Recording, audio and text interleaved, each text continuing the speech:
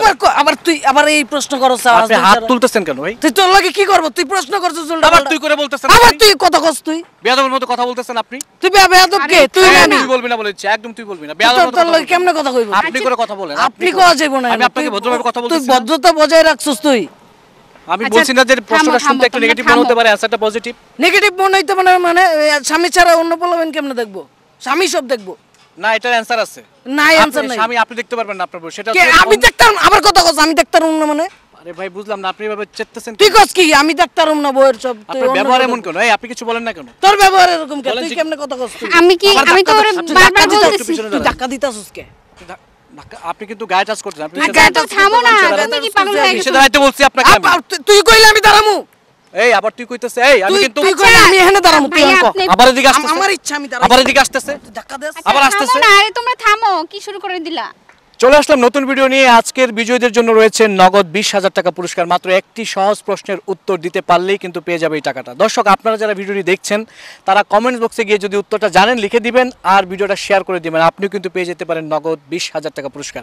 আচ্ছা আপনাদের সাথে কুইজটা খেলব। কুইজটা একটু ভেবেচিন্তে উত্তর দিবেন। আপনার কাছে শুনতে একটু অন্যরকম লাগতে পারে কিন্তু প্রশ্নের অ্যান্সারটা খুব সুন্দর। ঠিক আছে?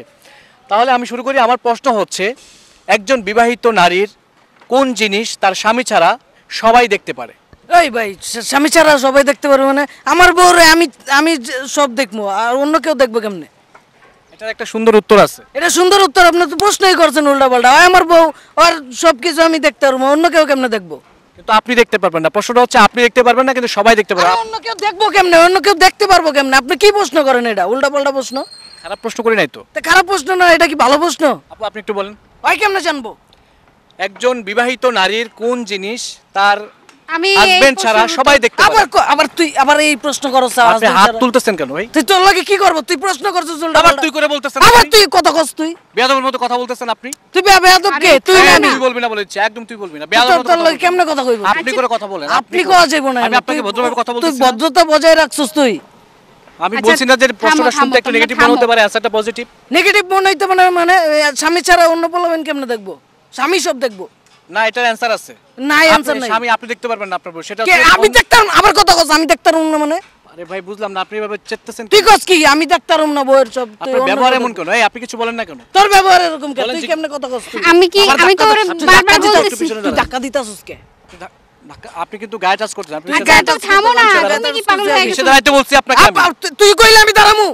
এই আবার তুই কইতেছে এই আমি কিন্তু তুই কইলে আমি এখানে দাঁড়ামু তুই অঙ্ক আপনি- আবার এদিকে আসতেছে। আমার ইচ্ছা আমি দাঁড়াবো আবার এদিকে আসতেছে। ধাক্কা দেস। আচ্ছা, আবার আসতেছে? না আরে তোমরা থামো কি শুরু করে দিলা? আপনি উত্তরটা দেন আপনি হয়তো পারবেন।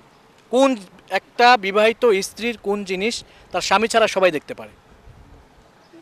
আমার কাছে এই প্রশ্নের কোনো উত্তর নাই ভাইয়া। আপনি প্রশ্নের প্রশ্ন করছেন আপনি উত্তর দিয়ে যান। ও কিন্তু পরে আবার মারামারি করবে। উত্তর দিতে পারবেন না। ভাই উত্তর আছে নাকি এটার? তুই উল্টা পাল্টা প্রশ্ন করো মিয়া। ধরুন আপনি আমি কি উত্তরটা দিব? দেন উত্তর দেন। কিন্তু খুব বার্গেনিং করছেন আমার সাথে। দর্শক আপনারা যারা জানেন উত্তরটা সঠিকভাবে কমেন্ট বক্সে লিখে দিন আপনি কিন্তু জিতে নিতে পারেন নগদ বিশ হাজার টাকা পুরস্কার। আচ্ছা উত্তরটা হচ্ছে আমি প্রশ্ন করেছিলাম একজন বিবাহিত স্ত্রীর কোন জিনিস তার স্বামী ছাড়া সবাই দেখতে পারে? কেউ ধরেন। ধরেন আপনার ওয়াইফ আপনি মারা গেলেন। আপনি মারা গেলে সে যে বিধবা শাড়িটা পরবে আপনি ছাড়া কিন্তু সবাই দেখবে কিন্তু আপনি দেখতে পারবেন না। তো এটা কি আপনি কইছেন যে জামাই মরে গেলে পরে বউ দেখব? আমি বলছি একজন বিবাহিত স্ত্রীর কোন জিনিস তার স্বামী ছাড়া সবাই দেখতে পারে? এটার অ্যান্সার হচ্ছে বিধবার শাড়ি পরার অবস্থায় জামাই তো দেখতে পারব না। জামাই দেখতে পারে না। অ্যান্সার কি পাইছেন? পাইছি পাইছি। ঝামেলা করলেন কেন? ভাই এরা আপনি করছেন আমিও করছি। এখন প্রশ্নটা এরকম যে এখানে ঝামেলা করার বিষয়। নেগেটিভলি নিছেন। আমি বউয়ের- বললাম না অ্যান্সার পজিটিভ বউ নিয়ে ভাই প্রশ্ন উঠছে ভাই। থ্যাংক ইউ সো মাচ ভালো